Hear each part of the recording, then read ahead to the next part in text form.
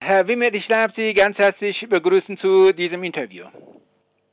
Ja, guten Tag, Herr Scharukni, guten Tag nach Teheran. Ja, vielen Dank. Herr Wimmer, äh, der russische Präsident Wladimir Putin hat gestern äh, ein Interview in Deutschland gegeben, das viel Echo ausgelöst hat. Äh, Sie haben auch sicherlich das Interview mitgehört. Äh, deshalb möchte ich Sie darum bitten, uns zu sagen, was die Eckpunkte seines Interviews waren. Ähm, der ähm, russische Präsident äh, hat von dieser Möglichkeit in einem bedeutenden deutschen Fernsehkanal ein Interview zu geben, äh, guten Gebrauch gemacht und er hat die russische äh, Position äh, ausgezeichnet erläutert. Äh, man äh, kann ihm nur dazu gratulieren, dass er das so gemacht hat, wie er es getan hat. Und er hat ähm, in äh, sehr äh, guten und klaren Worten zunächst einmal erläutert, ähm, welchen Eindruck man von Moskau aus haben muss, wenn man sich die Welt ansieht, vor allen Dingen die Welt nach dem Ende des sogenannten Kalten Krieges und wie die Vereinigten Staaten jede Form der freundschaftlichen Zusammenarbeit mit der Russischen Föderation ausgeschlagen haben, auch in der Frage zum Beispiel des Einsatzes von Militärkräften in der Nähe der jeweils anderen Grenze. Ähm, er ist dann in deutlicher Weise auf die weltweiten amerikanischen Truppenstationierungen in knapp 150 Ländern eingegangen und hat deutlich gemacht, dass die russische Föderation etwas Vergleichbares äh, weder getan hat noch beabsichtigt und äh, dass auch die russische Föderation äh, nicht die Form von Kriegen geführt hat unter Missachtung der Charta der Vereinten Nationen, wie man das für die Vereinigten Staaten nun leider feststellen muss. Also neben dieser weltpolitischen Betrachtung ähm, hat er dann ein Schwergewicht gelegt auf die äh, Sicht, die man aus Moskau in Richtung Ukraine haben muss und äh, hat vielleicht zwei Dinge besonders angesprochen. Auf der einen Seite ein Interesse an einer prosperierenden Ukraine von Moskauer äh, Sicht aus und auf der anderen Seite eine Auseinandersetzung mit den derzeitigen Machthabern in Kiew darüber, dass man Teile des eigenen Volkes nicht so behandeln darf, wie das äh, seitens des Präsidenten Poroschenko und vor allen Dingen des Ministerpräsidenten Jasenjuk in Richtung Ostukraine äh, festgestellt werden muss. Also insoweit eine äh, sehr klare und auch verbindliche Sprache und natürlich auch drittens eine Aussage darüber, wie man sich trotz dieser von Russland nicht zu verantwortenden schwierigen Situation darum bemüht, die Verbindungen zu Europa und auch zu den Vereinigten Staaten von anderen Dingen bestimmt zu sehen als nur von einer Konflikthaltung. Und insoweit war das äh, vielleicht das wichtigste Interview, ähm, überhaupt im deutschen Fernsehen in diesem Jahr 2014?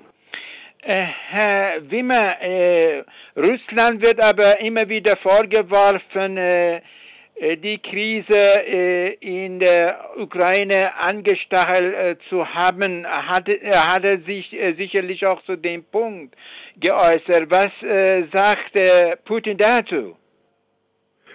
Ja, ähm, er hat ähm, äh, sich natürlich, um, soweit man das in einem solchen Interview machen kann, er hat sich umfassend äh, zur Situation in der Ukraine geäußert und hat die Verantwortung für die Entwicklung vor allen Dingen in der Ostukraine auch äh, eindeutig und sehr gut begründet bei der Regierung in Kiew festgemacht.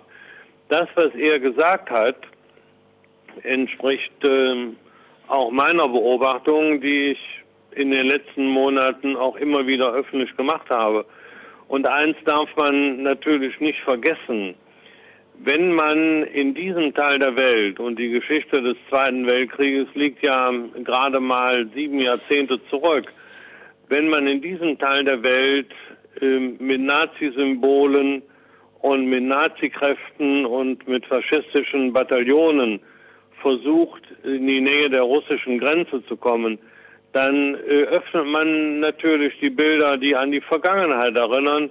Und äh, dann muss man auch eine Menge Verständnis dafür haben, dass man eine solche Situation, wie sie in der Ukraine von ukrainischen und möglicherweise auch westlichen Kräften herbeigeführt worden ist, dass man das nicht akzeptiert. Und äh, ich glaube, dass man in Deutschland dafür in der Bevölkerung eine Menge Verständnis bekommt, dass man es mit diesen Leuten nicht mehr zu tun haben will. Herr äh, Wimmer, wie begründete äh, äh, Putin äh, die Annexierung, äh, an, äh, Anschluss oder weitere, wie, wie man das nehmen will, der Kriminsel?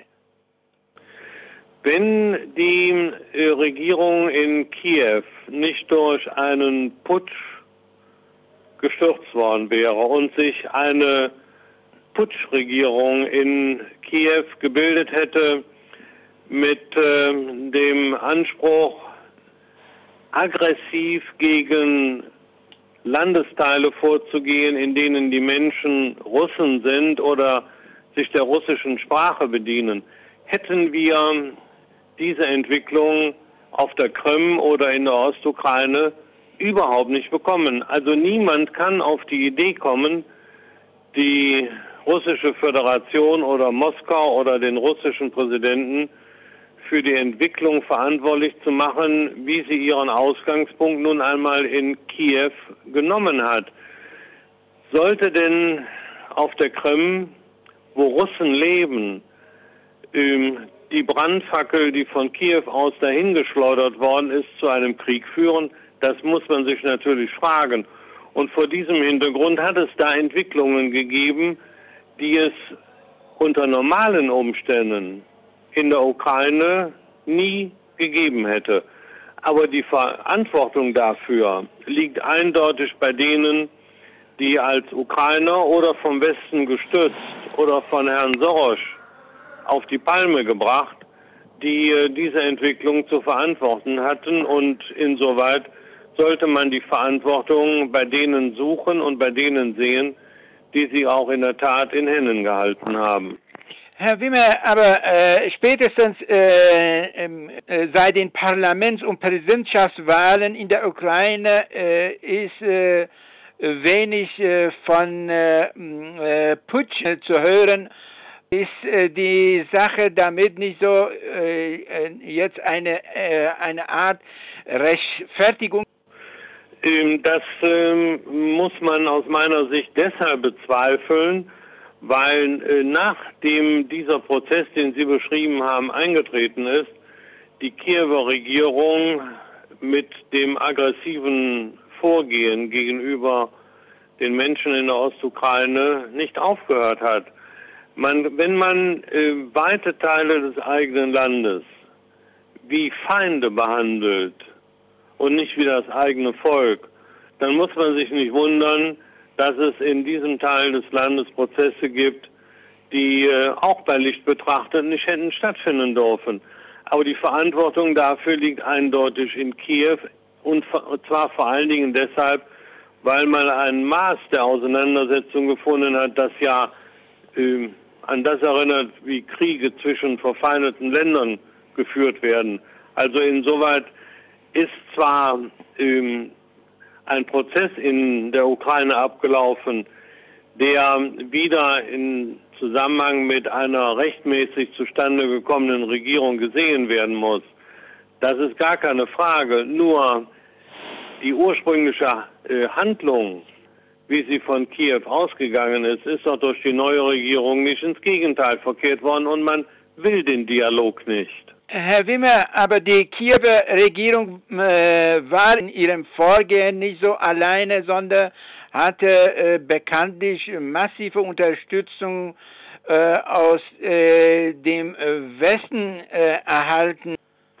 Das ähm, äh, ist richtig, Herr Scharokny, das ist auch meine Ansicht und ich kann äh, überhaupt nicht verstehen, wenn ich die deutsche Bundeskanzlerin äh, in Interviews oder in Reden höre, wenn sie sagt, ähm, man müsse gegenüber der Russischen Föderation Sanktionen verhängen, weil Präsident Putin nicht den Einfluss auf die Separatisten ausübt, der erforderlich wäre, um zu einer Beilegung des Konfliktes zu kommen. Dann kann ich natürlich nur fragen, welchen Einfluss hat denn die Bundesregierung auf die Regierung in Kiew genommen oder die NATO auf die Regierung in Kiew genommen oder gar die Vereinigten Staaten äh, auf äh, ihre Freunde in Kiew, um die zu einer Mäßigung zu veranlassen. Es ist doch an Peinlichkeit nicht zu überbieten, dass die deutsche Bundesregierung gegenüber diesen Nazi-Umtrieben in Kiew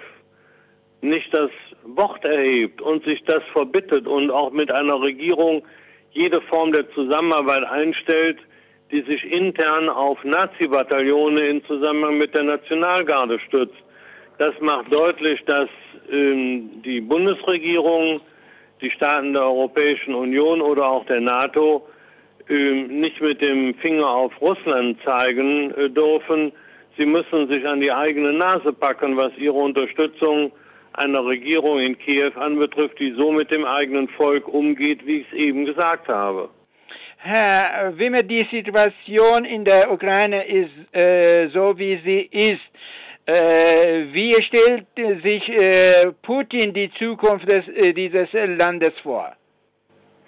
Ich glaube, dass ähm, äh, er gestern ähm, eine sehr nüchterne und auch realistische äh, Perspektive ähm, geäußert hat. Und ähm, ich habe ja eben schon darauf aufmerksam gemacht, dass er von einer prosperierenden oder wieder prosperierenden Ukraine spricht.